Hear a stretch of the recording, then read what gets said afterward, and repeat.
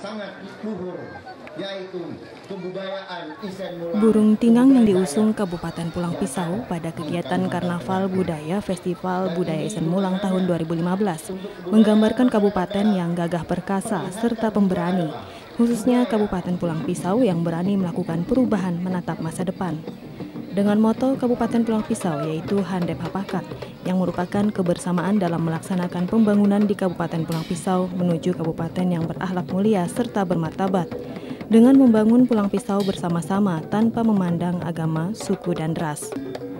Karnaval budaya yang dimeriahkan setiap kabupaten dan kota masing-masing menampilkan berbagai ornamen kebanggaan khas daerah yang unik serta menarik sebagai budaya asli yang ada di Kalimantan Tengah.